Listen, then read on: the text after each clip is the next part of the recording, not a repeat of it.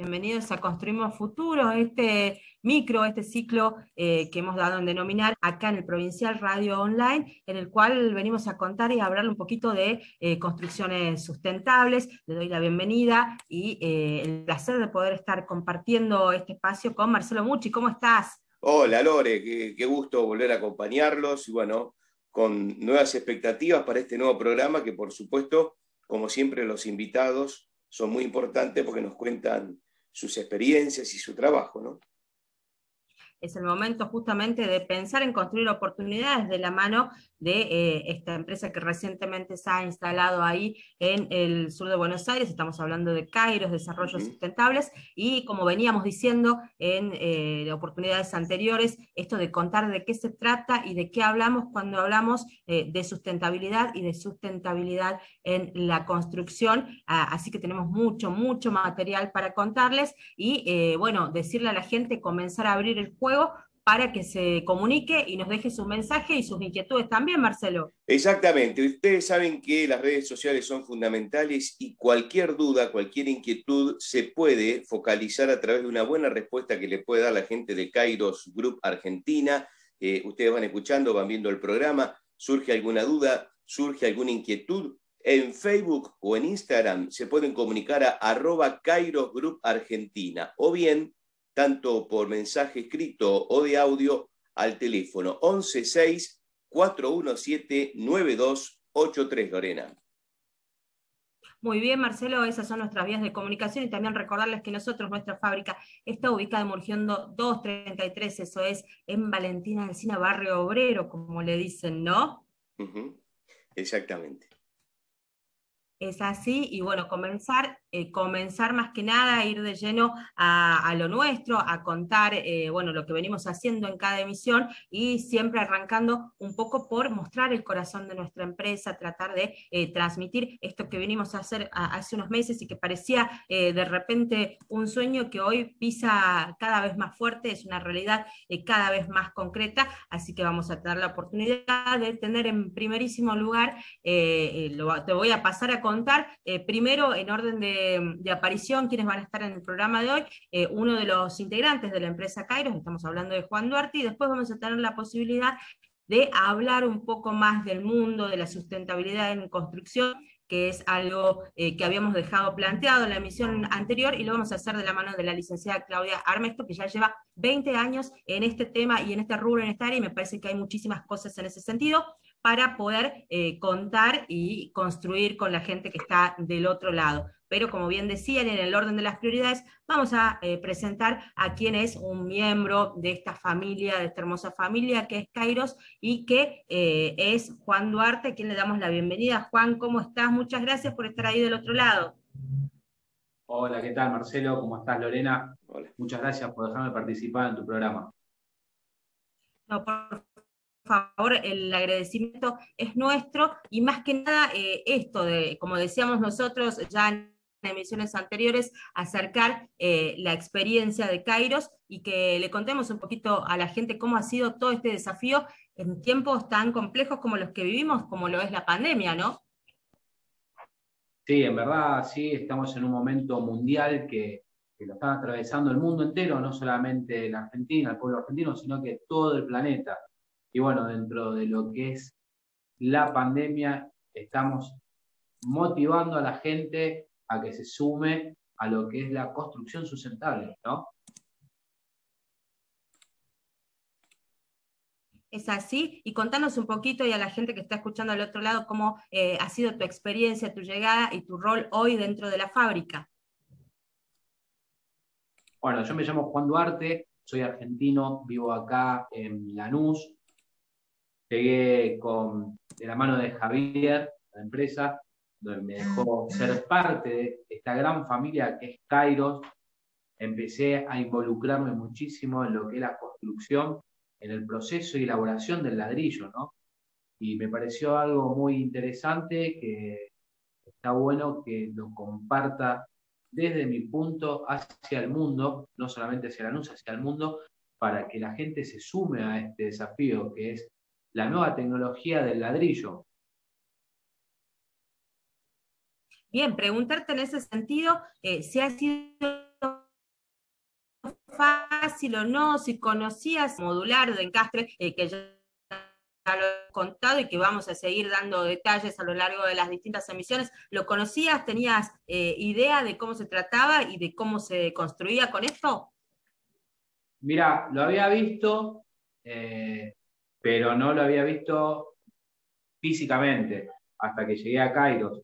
Y bueno, de la mano de Javier Guillone empecé a, fabricarlos. Hoy por hoy somos la empresa líder en lo que es la construcción de estos ladrillos. Es un ladrillo que está reciclado, nosotros lo hacemos con el escombro, tiene un porcentaje de escombro, un porcentaje de ladrillo, todo lo que no se usa para otra gente, nosotros lo volvemos a usar. Y me parece algo muy, muy bueno que se vuelva a reutilizar los recursos. Así que por ese lado estoy, estoy muy contento porque de no saber hacerlo, hoy por hoy estamos fabricando muchísimos ladrillos. No vamos a decir la suma, pero hacemos muchos ladrillos. Ahí está, contanos un poquito la experiencia de quienes más forman parte, cómo se han ido sumando a esta empresa. Bueno, eh, está Alejandro, que es uno de los también fundadores de, esta gran experiencia. Está Julio, también que nos aporta su, conocimiento. Y tenemos tres casos que están muy buenos contárselo a la gente, que el corazón gigante que tiene, lo vuelvo a repetir, el corazón gigante, así grandote, grandote, grandote, que tiene Javier, te dio la posibilidad de trabajar a tres personas. De esas tres personas, una tuvo un accidente muy grande una casa, se le incendió su casa y hoy por hoy está construyendo sus propios ladrillos para volver a levantar su casa. Ese es el caso de Hernán, que bueno, fue muy mediático en su momento, hace menos de un mes, en Villa Fiorito se le prendió fuego su casa, y bueno, Kairos y Javier lo contactaron a través de un programa de televisión, no recuerdo cuál, y hoy por hoy es uno de los pilares también, vamos a decirlo así, porque es uno de los pilares, es el encargado de hacer la mezcla para que estos ladrillos empiecen a, a tener su circulación. Después está el caso de dos chicos que eran vendedores ambulantes y también los reclutó Javier, que estaba tomando un café, Javier, se acercaron a, vender unas medias o unos pañuelitos y él le dijo que ofrecía trabajo. Y el día lunes, esto fue un sábado, y el día lunes vinieron acá y el martes empezaron a trabajar. Y hoy por hoy son tres pilares, así son tres titanes que están haciendo los ladrillos.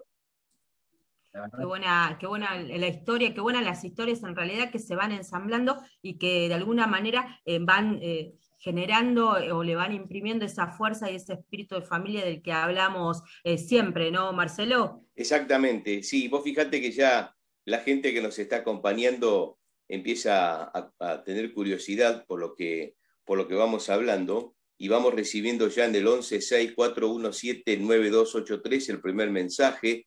Es de César que está en Longchamps. Dice él que él quiere terminar su casa.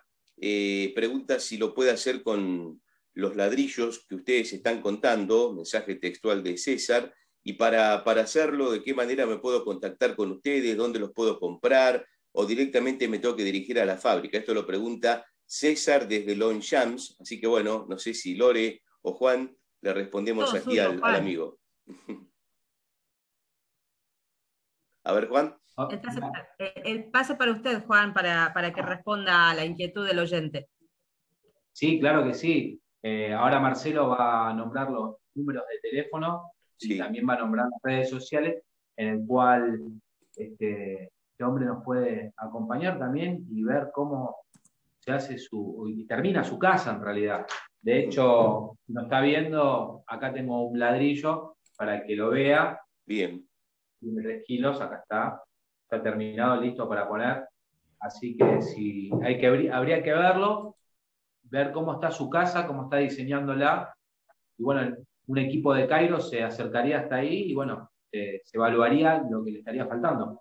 Juan, yo agrego una, una pregunta un poco a lo que nos, nos consultaba y ya le contesto a través de, del mensaje a César de Longchamp, dónde tiene que comunicarse. Digo, se me ocurre a partir de la pregunta de César de Longchamp, si una persona tiene una casa que le falta terminar o que quiere arreglar parte de sus paredes.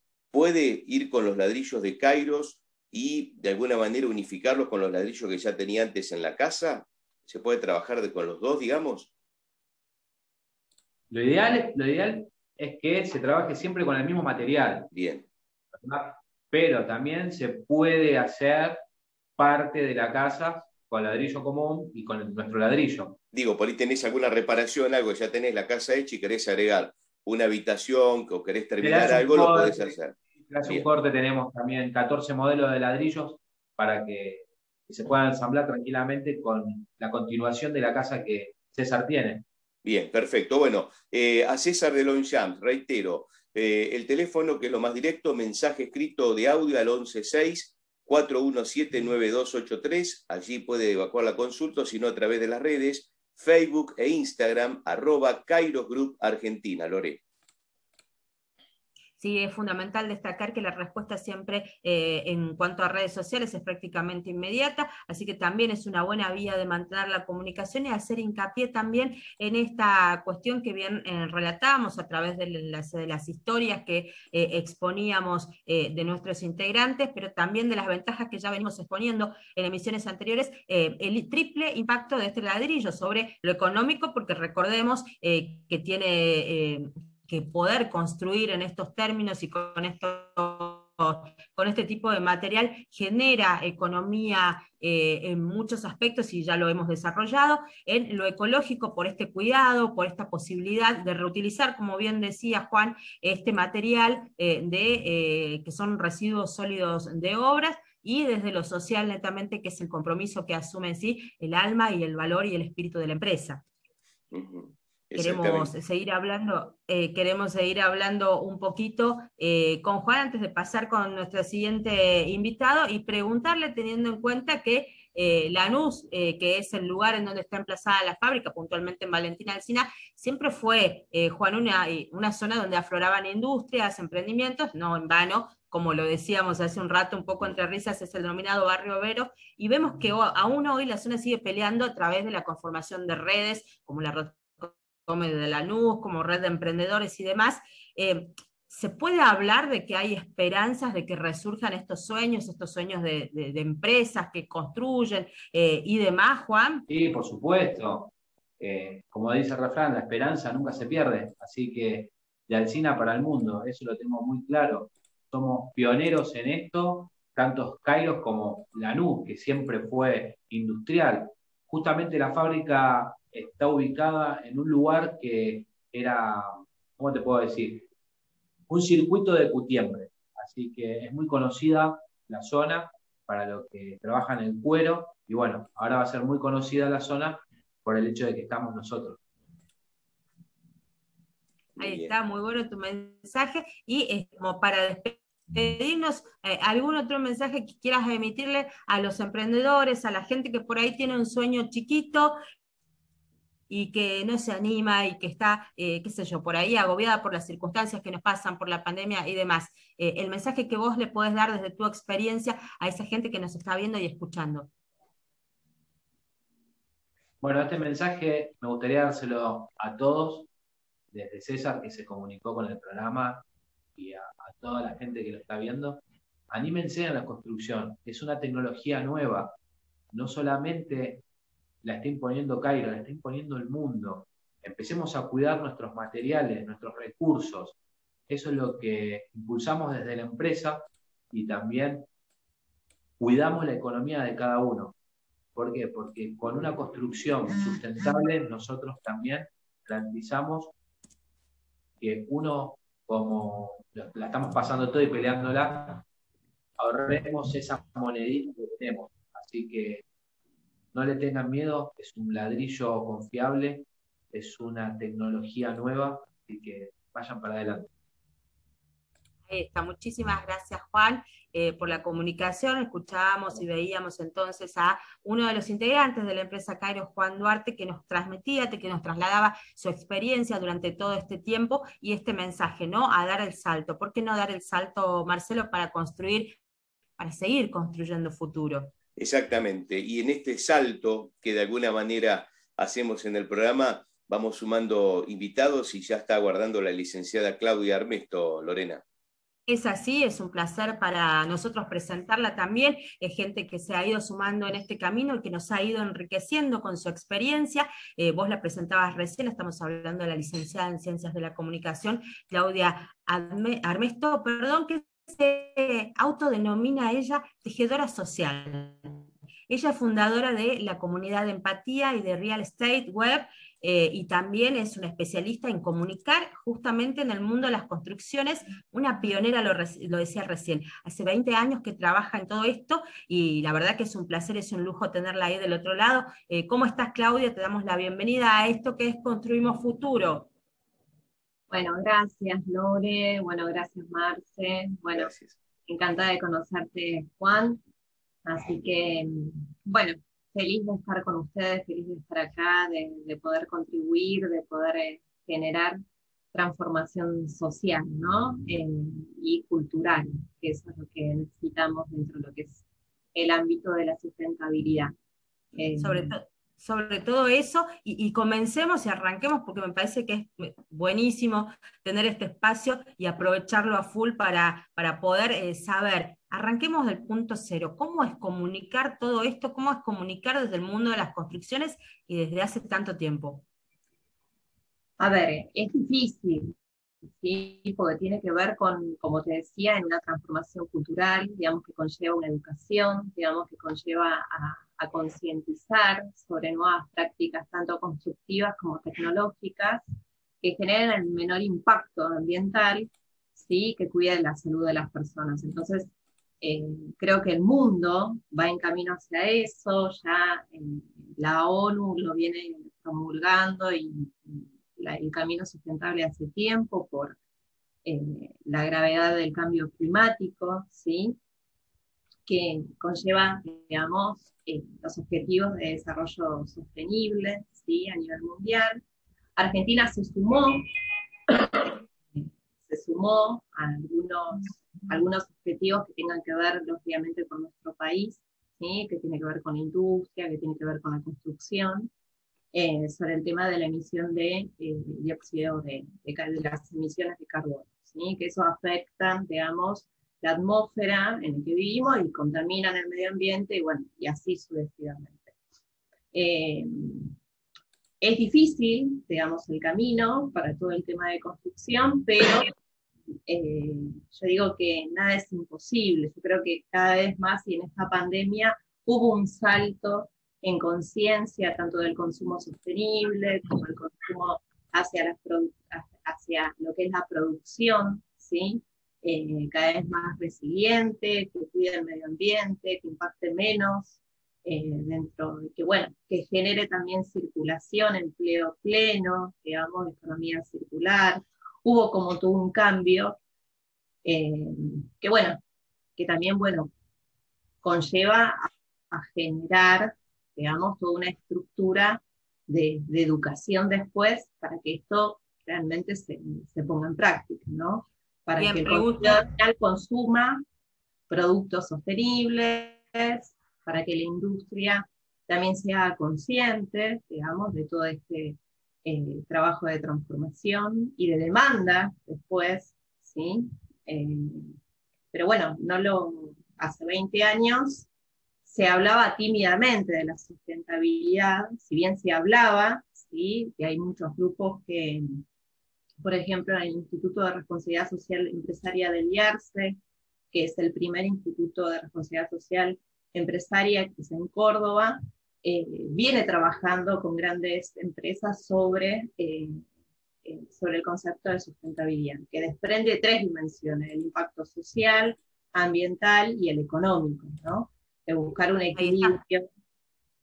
sí, sí justamente eh, eh, de eso, eh, a eso apuntábamos e, ir puntualizando con estas cuestiones. Está buenísima esta experiencia que trasladas y que, como decís bien, comenzó muy tímidamente hace muchos años. Y vos sabés que anteriormente dejábamos planteada la inquietud para la misma audiencia acerca de si es posible construir, si es posible llegar efectivamente a una casa sustentable en su totalidad, si hay ensayos previos en esta experiencia, en este camino que vos has recorrido, y si esa tecnología se encuentra en nuestro país o la seguimos mirando en, en otros lados, en el otro lado del charco. No, no, ya está la tecnología en nuestro país, hubieron varios ensayos de casas, digamos, sostenibles, que tienen que ver con la envolvente eficiente, de que tengan eh, eficiencia energética, digamos, que tengan una mejor acústica, que tenga una mejor eh, térmica, ¿sí? Eh, ya existe la trazabilidad de los productos, digamos, que sean productos netamente autóctonos y que estén cerca, digamos, de, de donde se construya. Pero el concepto de sustentabilidad de arquitectura es la naturaleza de la arquitectura. La naturaleza tiene que ser, de la arquitectura tiene que ser sustentable en cuanto a lo que es el diseño, ¿sí? Desde el principio, digamos, cualquier arquitecto, cuando se pone a diseñar cualquier casa, ve el entorno que impacte menos, ve los recursos naturales de la zona, ve, digamos, digamos todo, ese, todo ese trabajo se parte del diseño arquitectónico. Después, bueno, se elige tecnologías, ¿sí?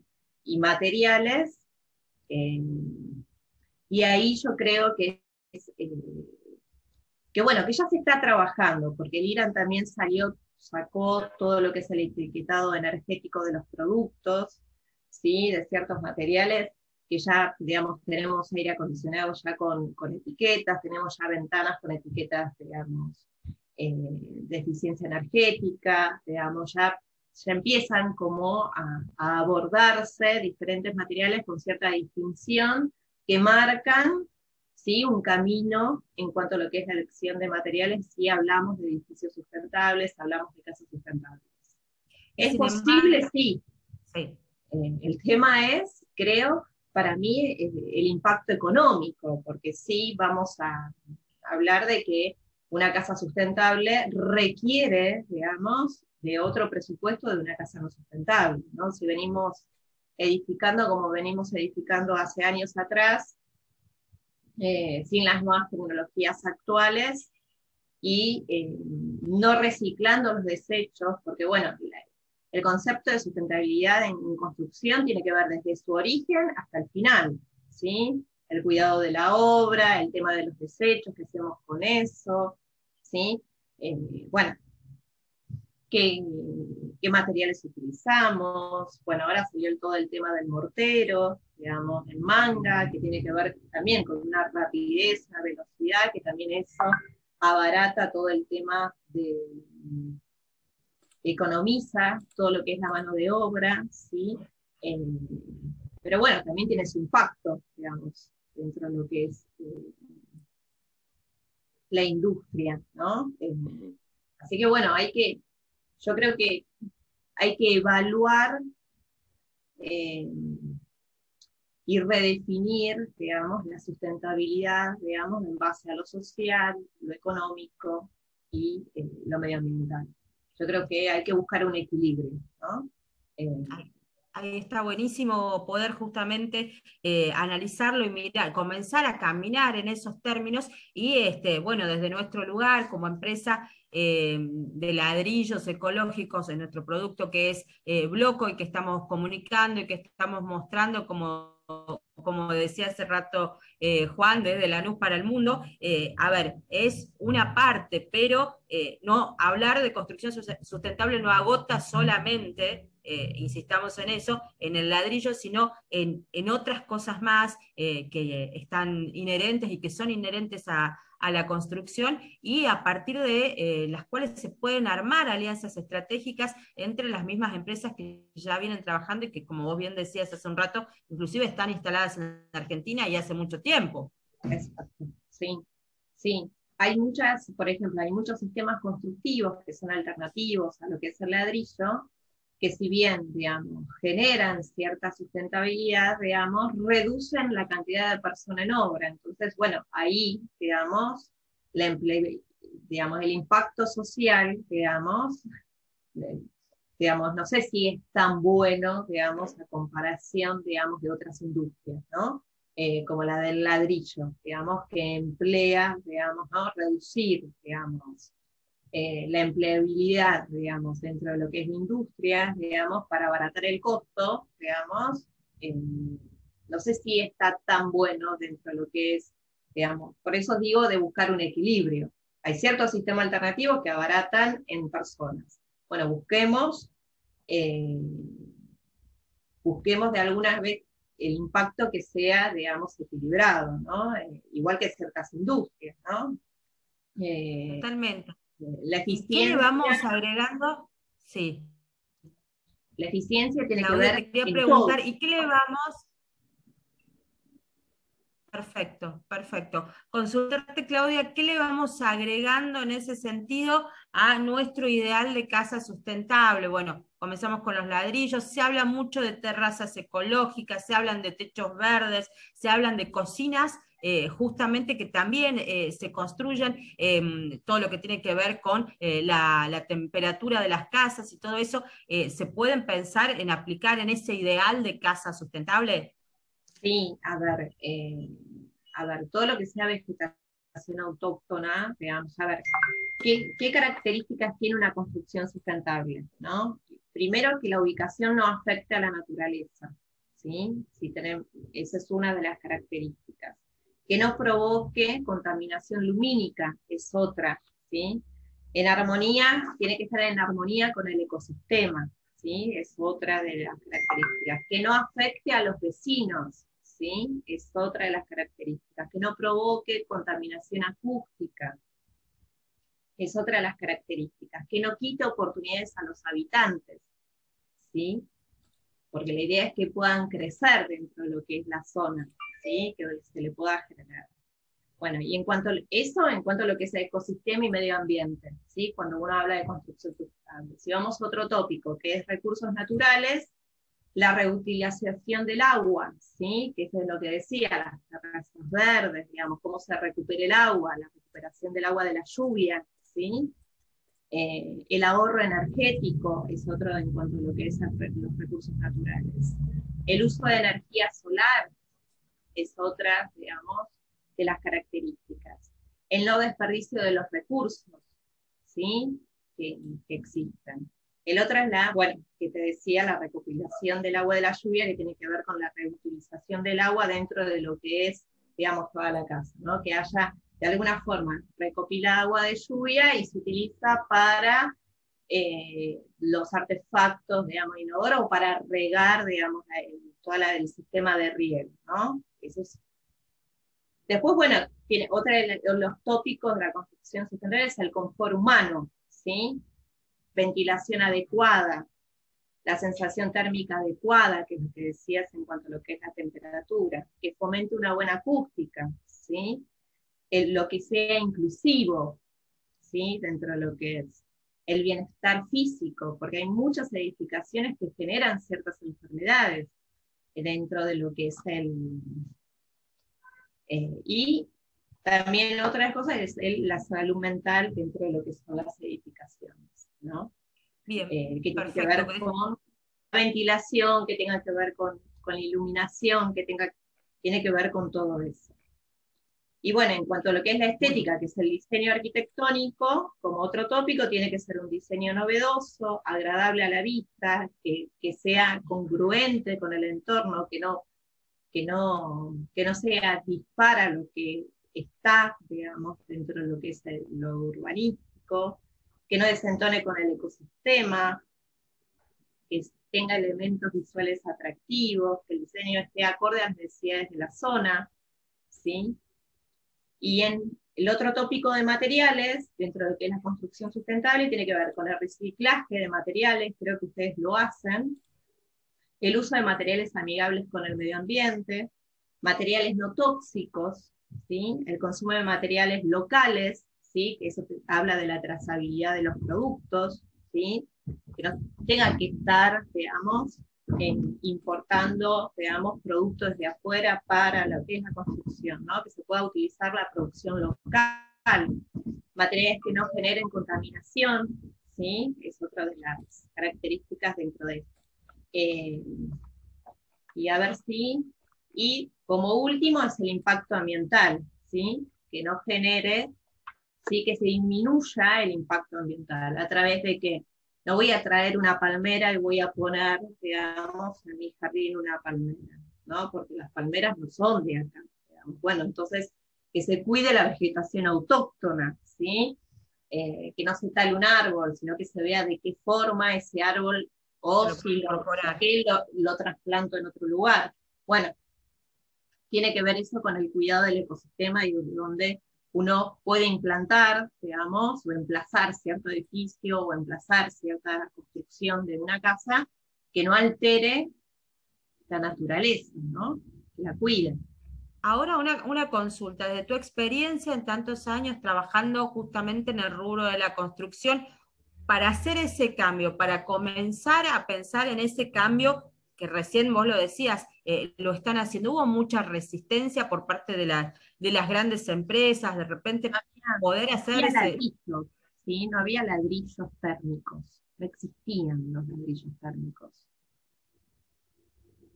claro, desde, claro, desde ese punto eh, entonces eh, hubo es imposible hacer una casa.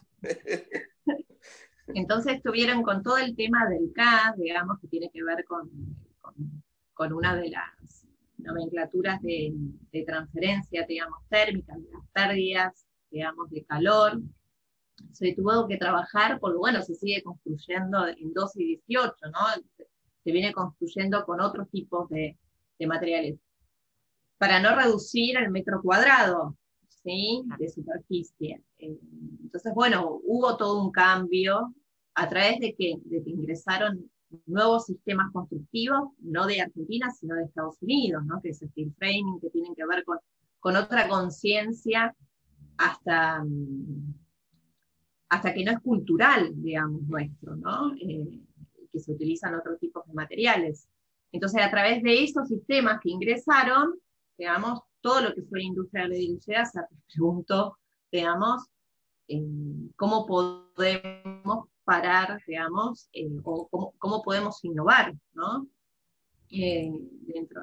Y sí es verdad, digamos, que las grandes desarrolladoras, eh, el concepto de sustentabilidad ya lo tenían, digamos, por ejemplo, las más corporativas, las que construyen oficinas, pues son requerimientos, digamos, de ciertas empresas internacionales, digamos, que son las certificaciones LEED, ¿no? Eh, que tienen que ver con todo, esto es lo que digo, de todo el proceso, desde el origen hasta el final, digamos, del producto eh, inmobiliario, el edificio y demás, tiene que tener una conciencia de, menor impacto ambiental para poder ser certificado, ¿no? Porque tiene varios, eh, varios momentos de, certificación en la obra. Ya muchas de edificios corporativos sí lo tomaron pero los residenciales, que es donde más se, utiliza, digamos, más se consume la energía, eh, y en las casas, donde más se consume la energía, eh, todavía no, eso no está en, general. Ahí, ahí.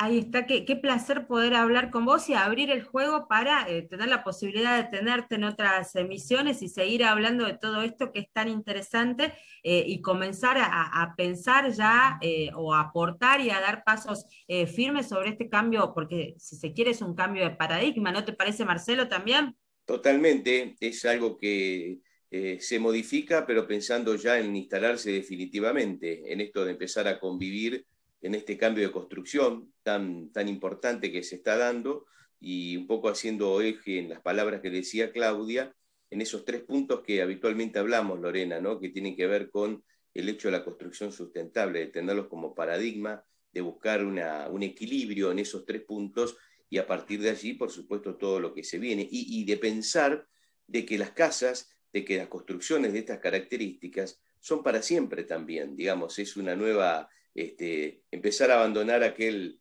aquel ladrillo del Tano que hacía esa casa, que era este, muy fuerte, pero que hoy estamos en otros tiempos, ¿no, Claudia y Lorena?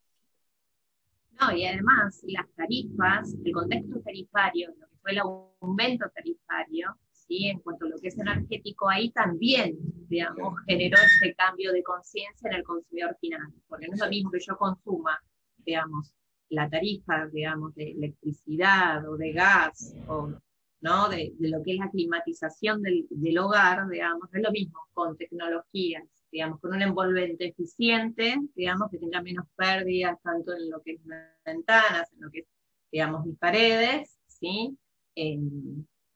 y eso también, digamos, generó una conciencia en el consumidor final, eh, que espero, digamos, que, que, bueno, que sea motor de este cambio que, que decís, ¿no, Marcelo? Eh, uno que impacte, digamos, que sea, que busquemos un equilibrio dentro de lo que es el consumo, la producción, digamos, el habitar, digamos, dentro de lo que es la sociedad.